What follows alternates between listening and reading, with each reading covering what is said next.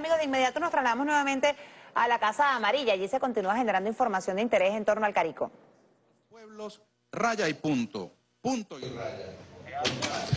Bien, nosotros continuamos desde la Casa Amarilla Antonio José de Sucre, donde continúa en desarrollo el simposio 50 años de CARICOM, logros y desafíos de la Unión Caribeña. De inmediato escuchemos declaraciones del ministro del Poder Popular para la Cultura, Ernesto Villegas.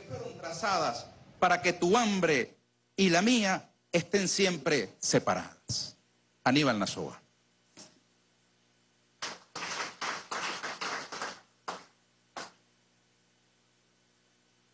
Muchos, muchos años atrás, el Caribe era un solo espacio, sin puntos ni rayas.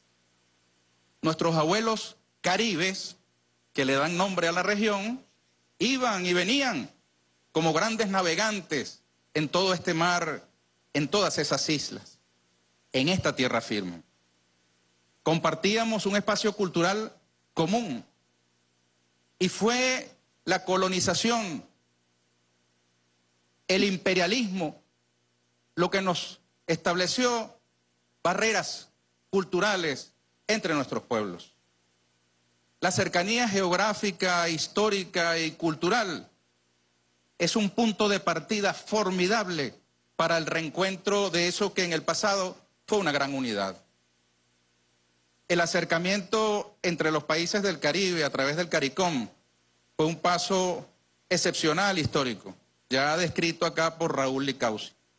Y la relación preferente que Venezuela, con la llegada del comandante Hugo Chávez y ahora con el presidente Nicolás Maduro Moros, le da al Caribe y específicamente al CARICOM, no es más que una devolución hacia un estado en el que no deberíamos atender a esos puntos y esas rayas.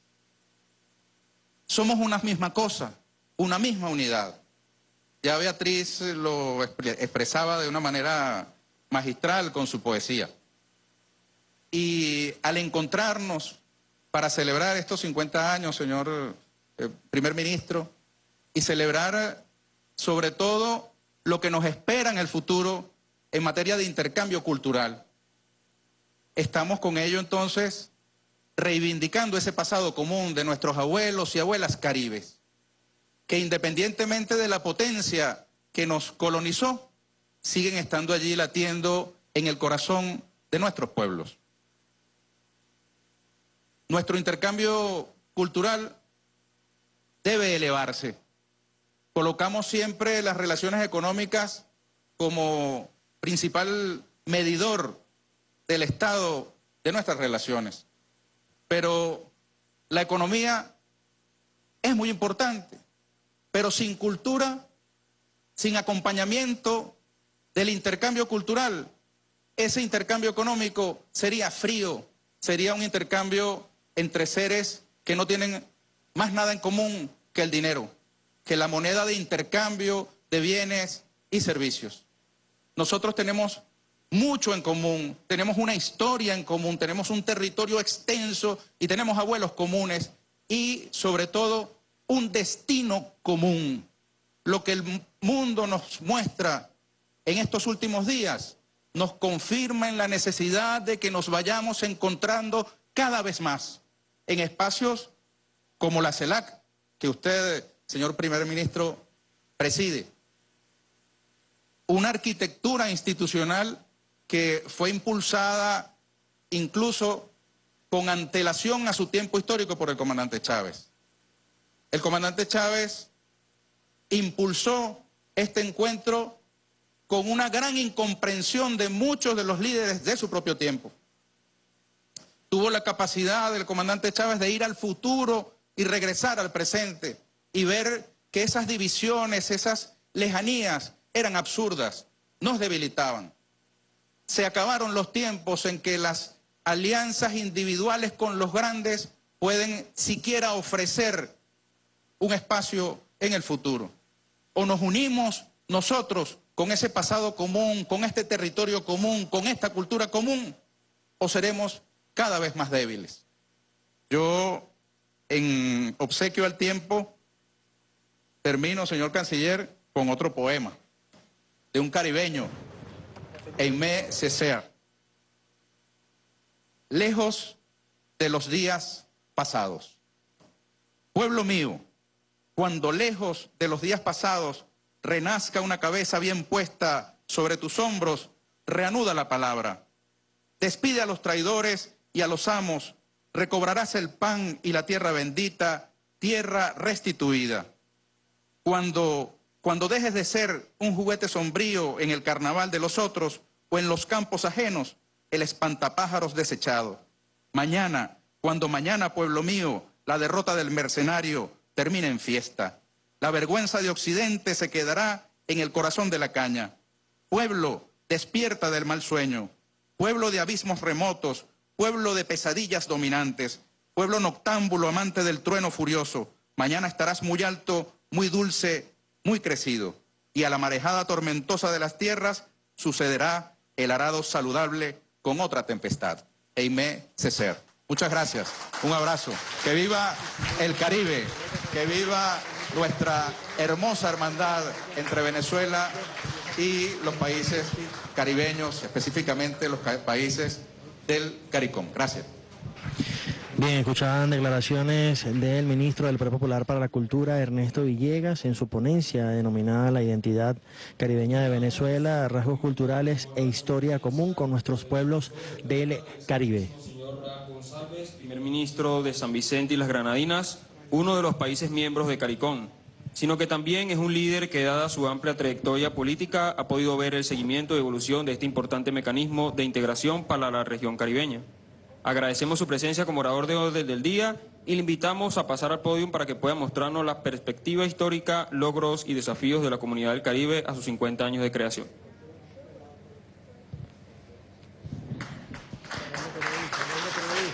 Bien, en este momento va a tomar la palabra Ralph González, primer ministro de San Vicente y las Granadinas, en este simposio de 50 años de CARICOM.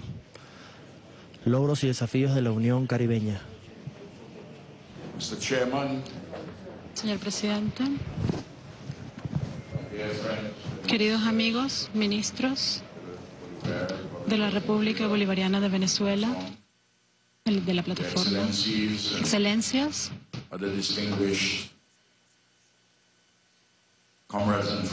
y otros camaradas y amigos distinguidos, damas y caballeras. Caballeros, estoy muy contento de estar aquí con ustedes el día de hoy para hablar sobre la comunidad del Caribe, el CARICOM, su historia, dónde estamos y hacia dónde vamos. Y para hablar no solamente own Caribbean context, desde su contexto caribeño, sino para mirar this integration movement, más de cerca el movimiento de integración y su relación con otros, incluyendo Latinoamérica. Yo creo from everyone we have been having poetry, que ya que hemos escuchado tanta poesía, I believe, I think I should frame my comments creo que yo voy a comenzar mis comentarios con tres expresiones poéticas. One, one of them would be, Una de ellas, where is my comrade sister? ¿dónde está mi hermana, mi camarada hermana? ¿Está aquí? Ah, yes, Silvia está aquí, sí. Beatrice. Beatriz, aquí estás.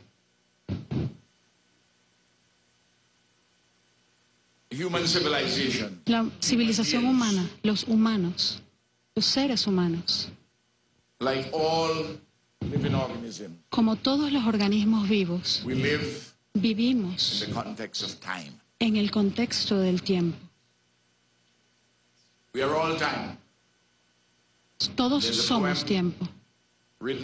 Hay un poema escrito por Daniel Williams,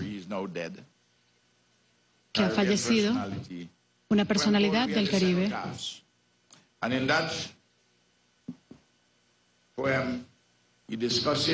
y él hablaba sobre el tiempo, el pasado, el presente y el futuro. We are all time. Todos somos tiempo. Sin embargo, solo el futuro es nuestro para The dañarlo. present is the past, El presente es el pasado. The past, y el pasado son eh, los, em, los errores de nuestros padres. In identifying that we are Él estaba adelantado a su tiempo al haber entendido que el pasado se trataba de los errores de nuestros padres e identificó que solo el futuro es nuestro. Para moldearlo. El presente ya es pasado y aquellos que te dicen no pienses en el pasado, ellos no entienden nada sobre el presente, no van a entender nada sobre el presente. El presente es pasado. How do we ¿Cómo podemos evitar desecration of our future? Dañar nuestro futuro? There are many answers, Hay muchas respuestas, but fundamentally, pero básicamente o fundamentalmente we have to be united and we have to be in tenemos que solidarity with one mantenernos another. unidos y en solidaridad And we unos have con otros. Y tenemos To have a que conversation tener una conversación with those who came before us, con aquellos que vinieron Those who are antes que currently with nosotros, us. Aquellos que están con nosotros actualmente. Y tenemos que tener también una conversación con aquellos que van a ocupar nuestros puestos cuando nosotros ya no estemos en ellos. In 1973, En 1973, April 1973, abril de it 1973, was not a bad year. el 73 no fue un mal año. Good things happening, some terrible ones too. Cosas buenas pasaron ese año, también algunas terribles. Pero en 1973, abril de 1973, Walter Rodney, The Caribbean revolutionary and intellectual, el intelectual y revolucionario my caribeño, a quien, de que, sobre quien habló mi hermana Beatriz, He mi colega Beatriz, wrote and caused to be él published escribió by a small publishing house in London called un libro publicado en Londres que se llamó Publications. Over Louverture. Bogle in reference to Paul Bogle, who led the 1865 anti-colonial uprising. en referencia a la lucha anticolonial en Jamaica. Louverture, y Louverture, the leader, Toussaint Louverture, el líder the first successful de la revolución esclava in our hemisphere. que fue exitosa, la primera revolución esclava exitosa de nuestro hemisferio. Republic largely of persons of African descent. que pudo establecer una revolución, que pudo establecer una, eh, un país de raíces realmente esclavas. Haití fue líder en eso. Walter, Y cuando Walter, a quien ustedes tal vez conozcan, publicó el libro ¿Cómo Europa evitó el desarrollo de África.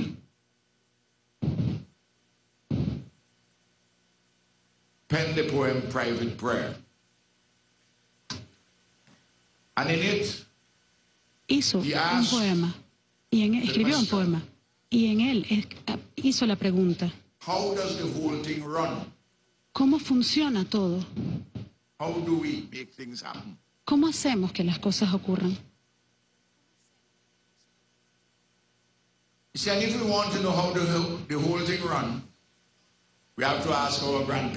Si nosotros queremos saber cómo las cosas ocurren, tenemos que preguntarles a nuestros padres, a nuestros antepasados, a nuestros abuelos.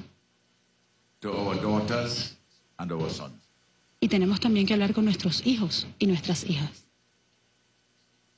And if we want to know how the whole thing run, Y si queremos mantener las cosas funcionando, tenemos que tomar consejo. Tenemos que pensar y hablar en nuestro propio lenguaje. And to do so Y para hacer eso, tenemos que hacerlo a través del prisma de nuestros propios ojos, sin perder de vista la historia.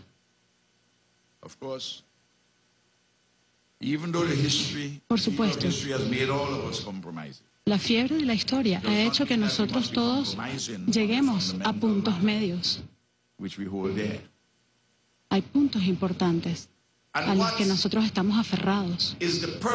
¿Y cuál es el propósito, metaphorically, metafóricamente, of finding out how the whole thing's run de saber cómo funcionan las cosas? Y de hablar con nuestros padres y nuestros abuelos, nuestros ancestros, hablar entre nosotros y con nuestros hijos e hijas. ¿Para qué haríamos eso?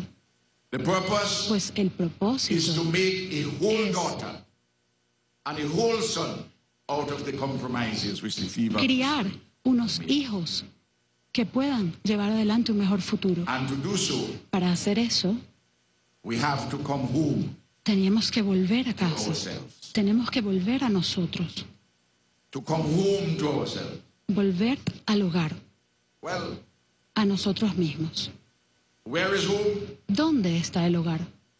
home is not just a physical space El hogar no es solo un espacio place. físico, no es un lugar físico. oh it has to be lodged there you have to have some connection to it Tenemos que tener conexiones but con él.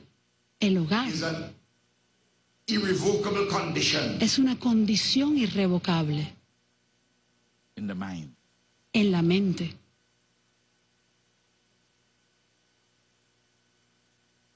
And those who have been critical Y ellos, aquellos que han in criticado, making in helping us to get to our goal to make que han tratado de evitar que lleguemos a nuestra meta de criar estos hijos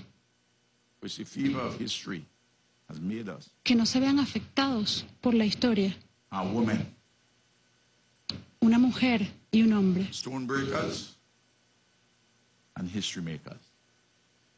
la historia nos rompe, pero la historia también in nos hace. 19, early 1940s Hilton Vaughn En los años 40, Hildon Bond, born in the Dominican Republic of que nació en la República Dominicana de padres de Barbados, sus padres se fueron a la República Dominicana a trabajar en la industria del azúcar. Hilton Vaughn Fue un hombre del Renacimiento. Él era un poeta, era historiador, miembro del Parlamento, miembro del gabinete, abogado, y él escribió un poema que se llama Revelación.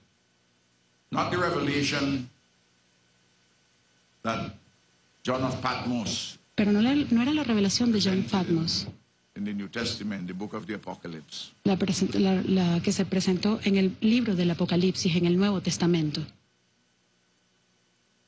He used the Caribbean woman in Revelu- Revelation Él utilizó a la mujer caribeña en esa revelación as the symbol como el símbolo, como la metáfora de lo que es magnífico en nuestra civilización caribeña. Y en ese poema, él compara a esa mujer to that epitome of classical con el epítome de la belleza europea clásica. But he makes an allusion to Helen, the face that launched a thousand ships.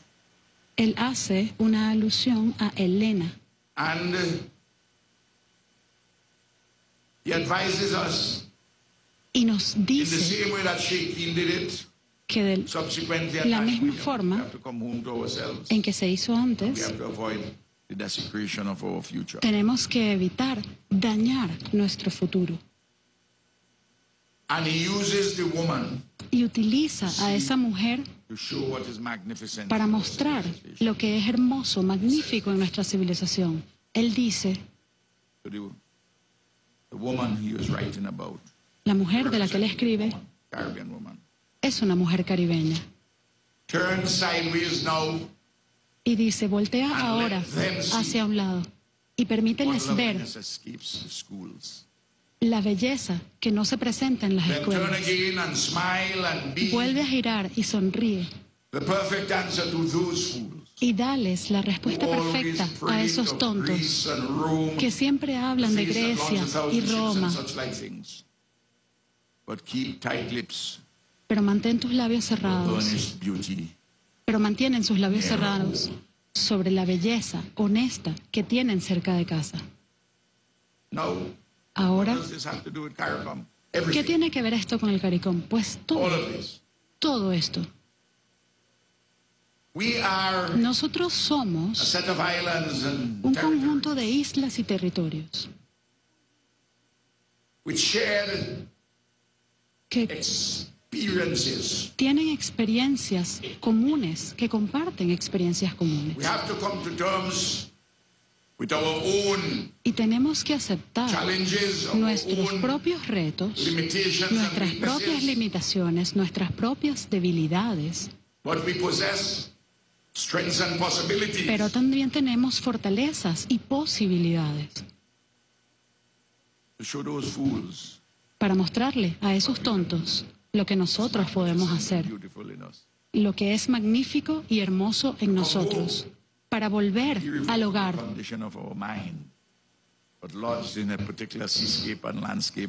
que está en ese paisaje hermoso del mar del Caribe, para evitar dañar nuestro futuro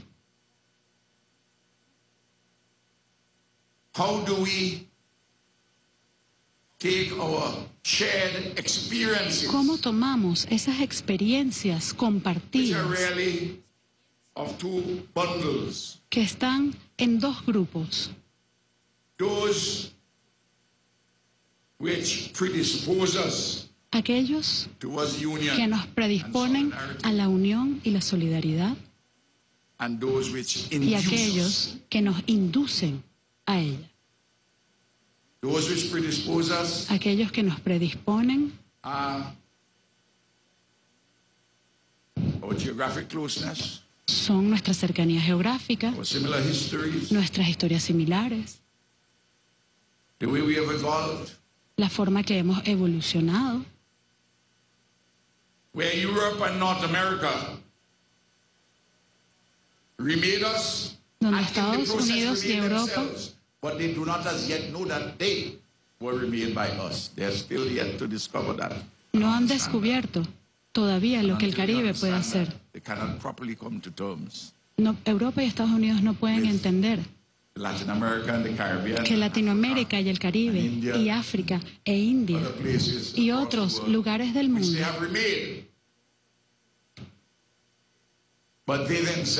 que are estamos siendo renovados.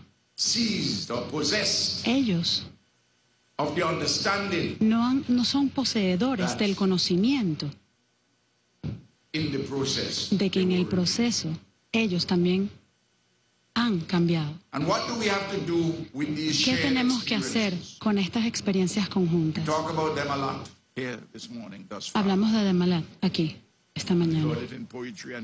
Y escuchamos en poesías y lo escuchamos en prosa. How do we ¿Cómo take all these bundles podemos nosotros tomar estos grupos de elementos que nos predisponen y nos inducen la economía que nos induce a la solidaridad? How do we take ¿Cómo tomamos Todas estas experiencias, experiencias conjuntas, para crear una hija, para criar una hija y un hijo. que no se vean afectados por la historia? We have to transform those Tenemos que transformar esas, esas experiencias conjuntas o compartidas, en expresiones compartidas, para que esas expresiones se hagan manifiestas en acuerdos institucionales, arreglos institucionales, políticos, económicos, sociales y políticos. Generalmente nos preocupamos con- o, hablamos de las experiencias ah, que compartimos, pero no hablamos suficiente sobre las expresiones conjuntas que incluyen a las instituciones. Of Eric Williams, Parte del genio de Eric Williams, de la genialidad de Eric Williams, de todos esos líderes in 1973 en 1973 was to build a, fue construir una institución llamada CARICOM. Y parte of the genius de la genialidad of Chavez de Chávez was to lay the basis fue sentar las for bases Petrocaribe para Petrocaribe y el Banco del Alba. And of Fidel and Chavez and Lula Y de Fidel y Chávez, la genialidad de Fidel, Chávez y Lula, to help to build, de ayudar first of all, the a idea. construir primero And la idea course, y después, By 2008, Fidel en 2008, was not at Bahia in Brazil, but to Fidel build, to create the constru- ayudó a institution construir en Brasil la institución, la institución que todavía se está moldeando, and the Caribbean, where que es la, la, la CELAC. in the years following Bahia in 2008. Que eh, surgió y se desarrolló a partir, a partir de 2008, We have to create después de la reunión en Bahía. Tenemos que crear instituciones. Con respecto a la integración, the Americans talk about integration. los americanos siempre hablan de integración. Los europeos hablan de, de integración, siempre lo han hecho. Históricamente lo han hecho. Y puede haber diferentes tipos de integración. La pregunta es? ¿a quién le beneficia? En nuestros días, todos los poderes del mundo, los americanos, los europeos, los chinos, los rusos, todos dicen debemos crear un nuevo orden mundial. Y yo apoyo la creación de un nuevo orden mundial, porque este que tenemos actualmente tiene muchos problemas y retos. Pero not because I want a new world order. No porque yo quiera- un nuevo orden mundial y ellos quieran un nuevo orden mundial, significa que ambos queramos lo mismo. Porque ¿a qué se refieren ellos cuando hablan de un nuevo orden mundial? Yo tengo que hacer tres preguntas a ese respecto. Which world and who gives the orders? ¿Qué mundo? ¿Quién hace las, eh, ¿quién hace las normas? ¿Y de qué mundo estamos hablando? De la misma forma, yo tengo que preguntar sobre la integración. Chevron Chevron está muy bien integrado de manera vertical en su organización y de manera horizontal en muchos países. But Pero Chevron benefits Chevron beneficia largely its shareholders mayormente a sus accionistas and of course Y por supuesto- beneficia enormemente United States of America, which a los Estados Unidos de América, que es el país de donde viene Chevron. And when they run into trouble Y cuando ellos tienen problemas with a tribal war currently going on in the United States, in, in, in Europe, con una guerra como la que hay en Europa en este momento, ¿qué pasa en Ucrania y Rusia? They will call it a war between tribes. Pues ellos lo llaman una guerra entre, entre tribus. Esta guerra tribal, como ellos le llaman, De hecho. Advise they're from the same Slavic tribe. a mí se me ha dicho que son de la misma tribu isla- eh, esla- eslava tribe, and organized as nations. y que son naciones separadas. there is, when the difficulties arose there, Cuando se presentaron las dificultades allí, United States of America Estados Unidos, los Estados Unidos de América, tiene problemas con el petróleo, con la tubería rusa, quieren que el petróleo llegue a Europa y quieren que el petróleo llegue a Estados Unidos. Y están teniendo problemas Saudi Arabia, en Arabia Saudita, tienen, se les presentaron también unos, algunos retos. Y entonces enviaron una delegación de Estados Unidos a hablar con el presidente Maduro.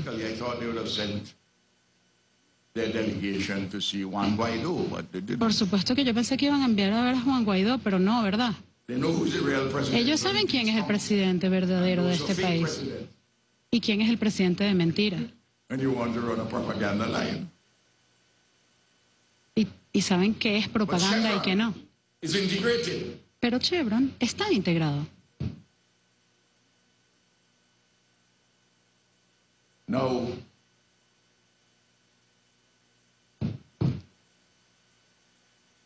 Venezuela Ahora, con respecto a. Venezuela, Venezuela fue la creadora de Petrocaribe. That's also an integration mechanism. Ella fue la que fortaleció ese, eh, ese método de, de cooperación. Fue la creadora de un acuerdo que nos ahorró muchísimo dinero a los países del Caribe. They want Venezuela to assist them Pero ellos quieren que Venezuela los ayude in strengthening their own para reforzar sus propios intereses nacionales. integrated entity called Chevron. Y esta entidad integrada llamada Chevron. But beginning with the same thing Obama, Y comenzando con el presidente, presidente Obama, February 2015, en febrero de 2015, con su declaración sobre Venezuela, mm, que decía que Venezuela era una eh, amenaza a la seguridad de los Estados Unidos, que abrió también la puerta a Trump, que quería hacer que América fuese blanca de nuevo. Y, y fue quien impuso las, las sanciones a Venezuela. Y el imperialismo de Estados Unidos ha continuado con esas sanciones.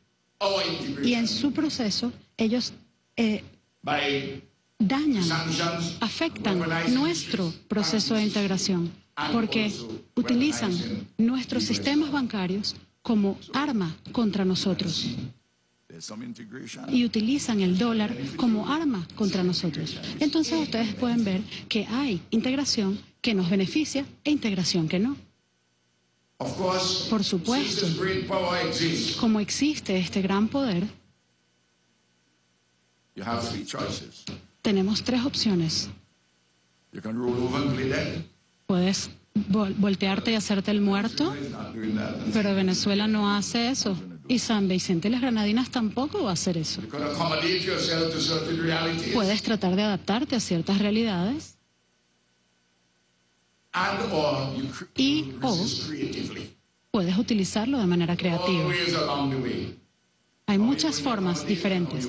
Cómo te vas a adaptar y cómo vas a resistir de manera creativa. Pero para hacer eso, tú necesitas solidaridad entre nosotros. No puedes hacerlo por ti mismo.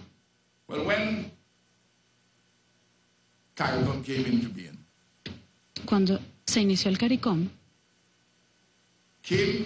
into being in 1973 en 1973, as a consequence, well, following como una consecuencia the failure of the West Indian Federation de la- de la- del fracaso de la Federación de las Indias Occidentales. En Federation was a 1951. colonial construct. Eso era un constructo colonial y su naturaleza, la forma en que estaba organizada, generó su propia destrucción.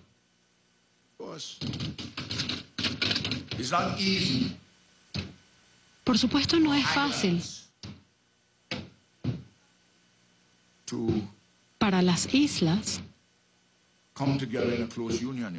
acercarse en una unión. La civilización caribeña está basada en islas y está relacionada con el mar. Cuando tú estás en una isla, ya sea en San Vicente, Jamaica, Barbados, o incluso si estás en uno de los países que son parte de CARICOM, que están muy relacionados con el mar, como por ejemplo los países de Centroamérica, como Guyana, como Surinam en Sudamérica.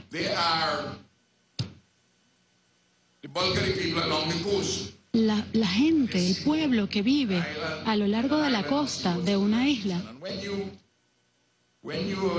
son pueblos del mar. Y cuando tú tienes ese tipo de civilización, como la civilización de las islas, Tienes- El mismo problema que experimentaron los europeos con los británicos, es una isla. Y ser una isla es una condición fascinante. When you're on an island, Cuando tú estás en una isla, cuando estamos en una isla, hay una to disposición a mirar siempre hacia adentro, But because it is surrounded by water, porque como está rodeada de agua, you also have to have an outward gaze. también, pero como está rodeada de agua, también tienes que mirar hacia afuera. Tienes que mirar hacia adentro y también mantener tu mira- mirada hacia el mar. Sabes que tienes que salir, pero ¿cómo lo haces?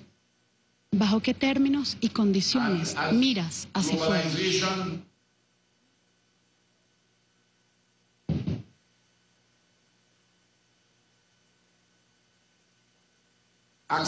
Y a medida que la globalización se acelera,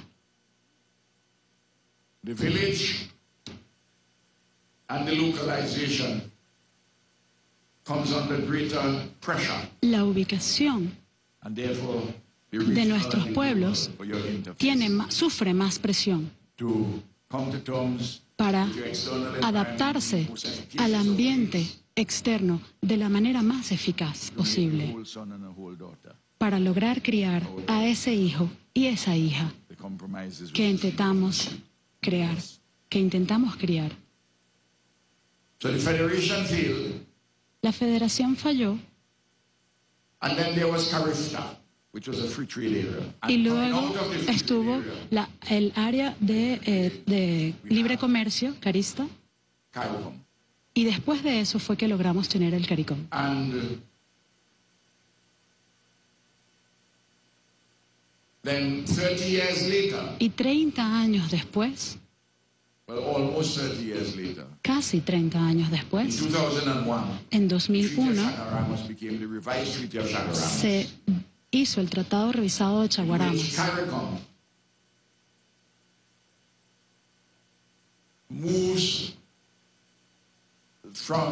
en el que CARICOM pasa de sus funciones limitadas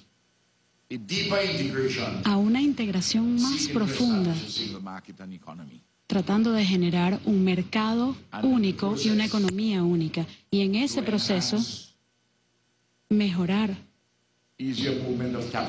el movimiento de capitales y comer- comercio y trabajadores. CARICOM has CARICOM four main pillars. Tiene cuatro pilares principales. Economic integration, La, eh, la integración económica, una economía única y un mercado único, functional cooperation, la cooperación funcional en educación, en salud, um, in other areas, en otras áreas. De política pública, la coordinación de políticas exteriores. y cuarto, the coordination of security, la coordinación de seguridad, citizen security, la seguridad de nuestros ciudadanos, y la seguridad de nuestra, de, de nuestra área, que debe ser un área siempre en paz.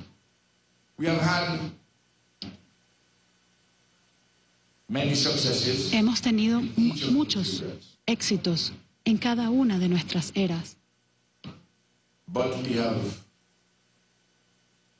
not moved as pero no nos hemos movido fast and the integration has not been as tan rápido como deberíamos, ni la integración ha sido tan cercana como muchos de nosotros hubiésemos querido que fuera. Sigue siendo un trabajo en proceso. Tenemos que recordar esas tensiones que hay, esa eh, posibilidad de mirar hacia adentro y hacia afuera.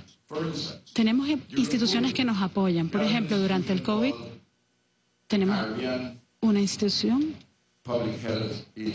que se llama la Agencia de, de Salud Pública del Caribe.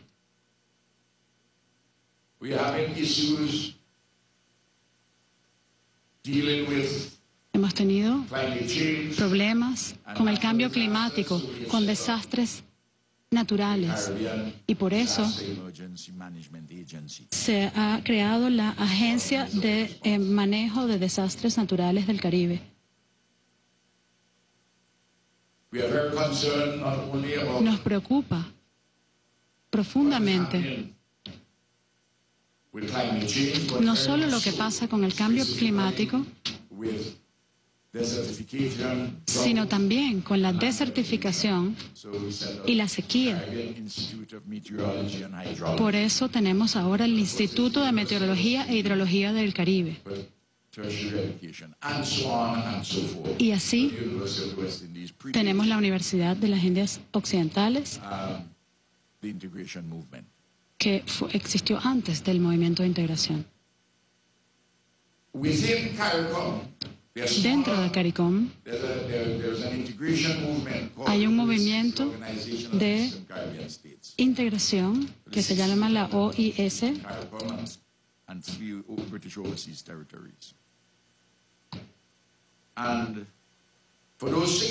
y para esos seis países tenemos un sistema judicial único, un banco central único con su moneda y con Barbados the regional security system, tenemos un sistema de seguridad regional que es un tipo especial de seguridad regional, un sistema de seguridad regional especial. Además de la implementación o instrumentación de la Agencia para eh, Crimen y Seguridad del Caribe. La idea es movernos de experiencias comunes a expresiones comunes con instituciones que son críticas.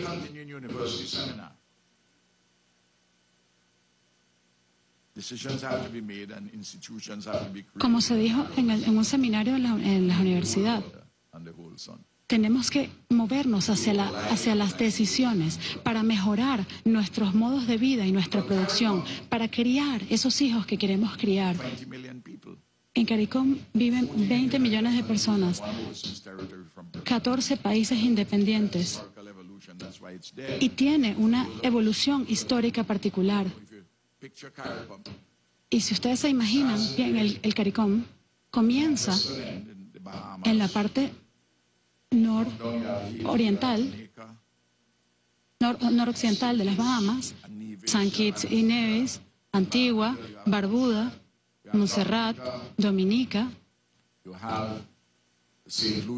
Santa Lucía, San Vicente y las Granadinas, Granada, Trinidad y Tobago, Guyana, y por supuesto, tienes Belice, Centroamérica, tienes a Surinam, que está cerca de Guyana. That's 20 million people. Eso representa 20 millones de personas, pero necesitamos hacer más. y por eso es que creamos la CELAC,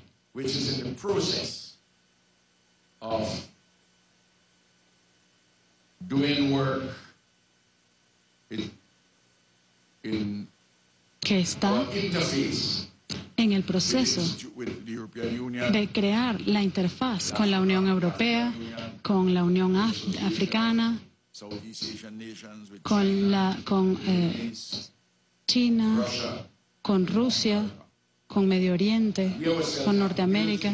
Y nosotros por eso tenemos que construir cosas. Por eso es que cuando nosotros nos vayamos, voy a ir a una sesión sobre una iniciativa del presidente Maduro para la creación de un instituto de ciencia y tecnología de la CELAC, que será un mecanismo de coordinación para los institutos de ciencia y tecnología en Latinoamérica y el Caribe. Por eso es que México también está apoyando la creación de una agencia espacial para Latinoamérica y el Caribe. Y también la creación de una agencia farmacéutica para que no dependamos de la agencia en Estados Unidos o en Europa o en eh, Gran Bretaña, que podamos tener nuestras propias reglas, nuestra propia normativa.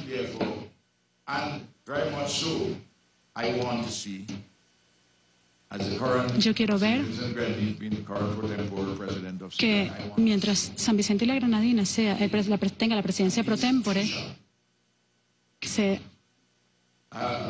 secretariat una institución, un secretariado permanente de la CELAC para que hagamos cosas, que logremos objetivos. El imperio trata todo lo que puede that too much because para que los países no adopten estas ideas,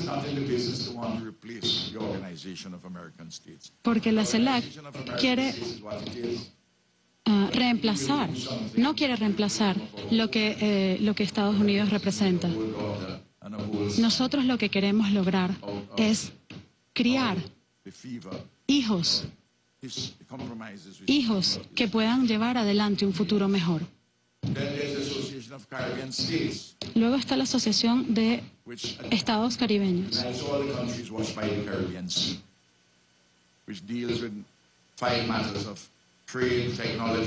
En ella se habla de eh, turismo, transporte, comercio y preparación para desastres y economía. I was one of three prime ministers from the Yo fui uno de los tres primeros ministros de la región que fue a Ghana hace dos días. He estado ya de viaje. I, I, I just, I was 10 days on the road. I, I, I went home to tell them Estuve 10 días de viaje. Fui de regreso a mi país solo un día y ya volví a salir para poder venir acá. In Ghana, En Ghana had the 30th anniversary tuvimos el 30, 30 aniversario the Africa Export Import Bank, del Banco de Importaciones y Exportaciones de África, Cairo. que tiene su base en el Cairo. 11 Caribbean countries have now signed on to the bank. 11 países del CARICOM ahora son parte de ese banco. Y yo les dije, have an asset base now of 32 billion US dollars. aunque ahora tienen 32 billones, millardos, perdón, se necesitan 60 We have millardos. Si tenemos todos los países del CARICOM, son 20 millones de personas extra. Si agregamos a África, son muchísimos más, 28 millones más. Pero consideren, si esa institución, also the Africa Export Import Bank el Banco de Importaciones y Exportaciones de África, to the 14 independent countries no solo incluyo a los, los 14 países independientes del CARICOM, sino que también incluimos a Sudamérica, los países que tocan el Caribe. Tenemos a Venezuela, tenemos a Colombia, tenemos a México, Centroamérica, tenemos Honduras, Guatemala, Guatemala, Nicaragua, Nicaragua, Costa Rica, Costa Rica, Panamá,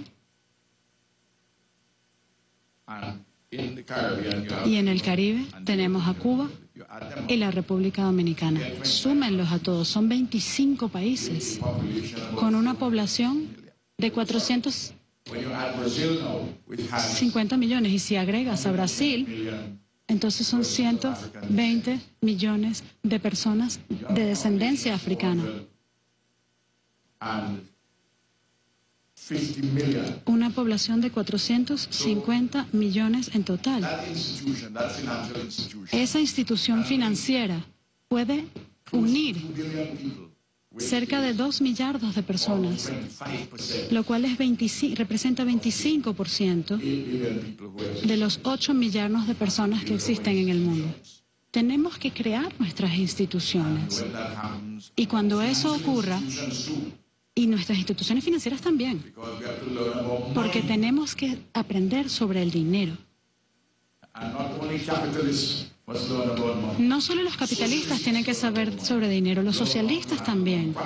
Tenemos que saber cómo manejar adecuadamente el dinero. Es vital.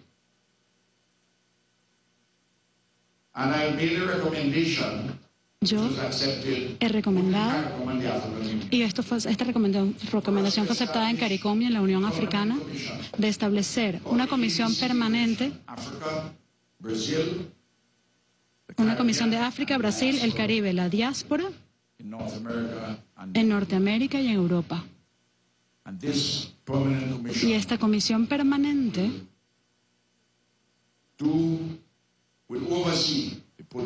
supervisará el trabajo social, político y económico de la integración de este mecanismo que tiene enorme potencial. CARICOM Será el puente entre África y Latinoamérica y el resto de la diáspora. Raúl me preguntó sobre el futuro. Hablaste del Tratado de Chaguaramas, que se firmó en eh, abril de 2001, following on July en julio de 2001, 1973, the original revised treaty of Chaguaramas. luego del Tratado original de abril de 1973. This thing, without a note in front of me, Y yo hablo, como ustedes pueden ver, sin un discurso, hablo de mi corazón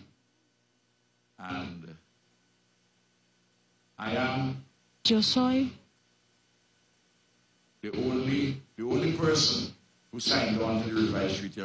la única persona que firmó el Tratado Revisado de Chaguaramas que todavía está en su puesto.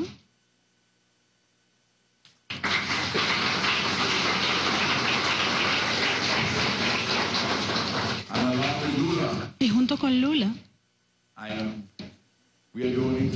somos los únicos dos de Bahía en 2008. Todavía tenemos mucho trabajo por hacer. Tenemos que hablar con nuestros ancestros, con nuestros abuelos, hablar con nuestros padres y hablar con nuestros hijos e hijas. Para criar a esos hijos que puedan traernos un futuro mejor, para que entiendan que el presente ya es pasado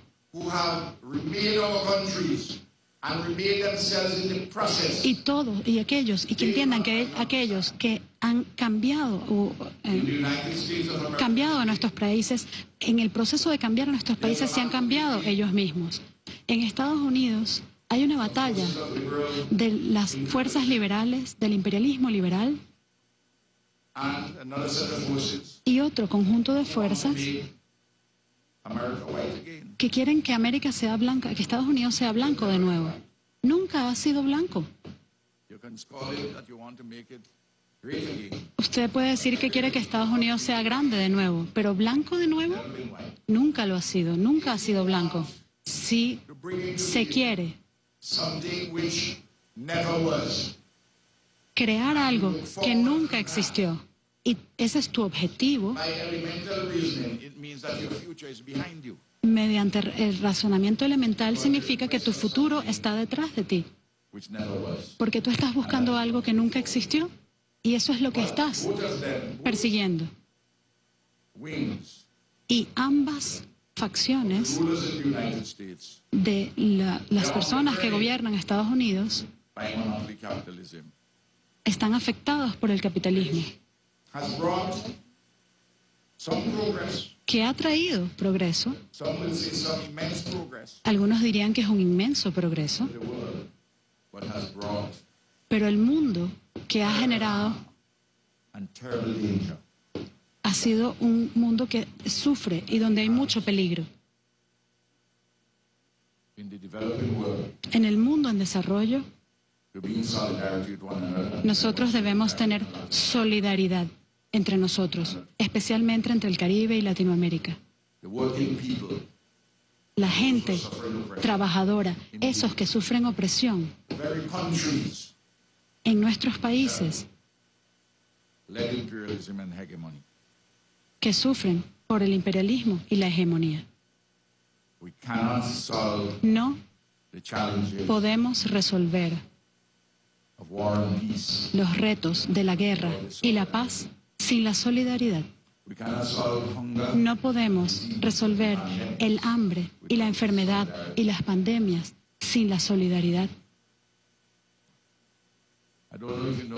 No sé si ustedes saben esto, pero yo les mostré Raúl una estadística.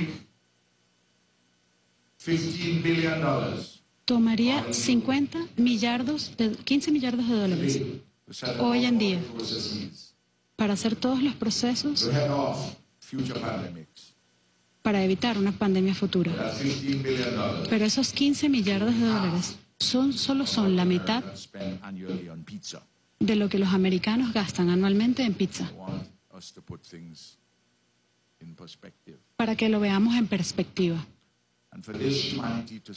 y para que esta humanidad nuestra sobreviva, tenemos que asegurarnos de ser maduros, de mantenernos sobrios. Y de actuar con urgencia. Y al mismo tiempo con paciencia y calma, sabiendo perfectamente que el sol vuelve a salir. Muchísimas gracias. Bien, escuchaban declaraciones del Ralph González, primer ministro de San Vicente y las Granadinas. Allí vemos eh, en este simposio de 50 años de CARICOM, logros y desafíos de la Unión Caribeña, importantes declaraciones eh, daba en el contexto de la unión, de la solidaridad y también importante el papel que ha jugado nuestro país para el financiamiento y el impulso de Petro Caribe, entre otras instancias de integración promovidas por el comandante eterno Hugo Chávez y también por el presidente Nicolás Maduro. De inmediato vamos a escuchar declaraciones del ministro de Relaciones Exteriores, Iván Gil. González, gracias por esa tremenda exposición que ha hecho el día de hoy para celebrar el 50 aniversario del CARICOM. Ministro Ernesto Villegas, gracias por los poemas. Embajadores, embajadoras, miembros del cuerpo diplomático, viceministros, directores. Yo voy a ser muy breve, precisamente porque en el marco de la celebración del CARICOM y en el marco precisamente de la presidencia pro tempore de San Vicente de las Granadinas y del doctor Ral González en la CELAC. Estamos hoy en una actividad, como bien lo decía, de ciencia y tecnología, donde en breves minutos estará también nuestro primer ministro dirigiendo esa actividad, a la cual están invitados todo el cuerpo diplomático en que estuvieron presentes esta mañana. Solamente quiero significar algunos elementos que ya repasarlos, porque ya se han dicho en las, en las tres brillantes intervenciones, más los dos poemas que hemos escuchado el día de hoy. Hace 220 años, querido embajador, en Haití estallaba la primera revolución de América Latina y el Caribe. E inspirados en esa revolución, eh, América Latina y el Caribe se convirtió en un territorio rebelde. es un territorio revolucionario que echó el colonialismo y el imperialismo para construir una senda y un destino común, como lo decía también nuestro colega ministro Ernesto Villegas. En esa tarea hemos estado 220 años. Nuestros pueblos han luchado estos 220 años para conquistar su independencia, su soberanía y su libertad. Y la única forma de lograrlo es unidos. Hemos demostrado que, o está demostrado, que proyectos independientes o proyectos solitarios realmente tienen poca viabilidad. La única alternativa que tiene la región es marchar unidos y por ello CELAC, por ello hoy celebramos y felicitamos al CARICOM en estos 50 años. Estamos seguros que el avenir juntos será un avenir de victorias y de consolidación del proyecto latinoamericano y caribeño. Venezuela tiene mucho de integración en el Caribe y tiene mucho que agradecer al Caribe. Desde la presencia, la acogida que dio Haití, el apoyo que dio Petión a Bolívar con armas, con soldados, con inspiración revolucionaria. Bolívar también pasó por Jamaica, escribió el célebre, la célebre Carta de Jamaica, que es una doctrina precisamente del diagnóstico. de 50 años de CARICOM, logros y desafíos de la Unión Caribeña. Es la información que nosotros podemos aportar a esta hora y con ella despedimos este contacto informativo.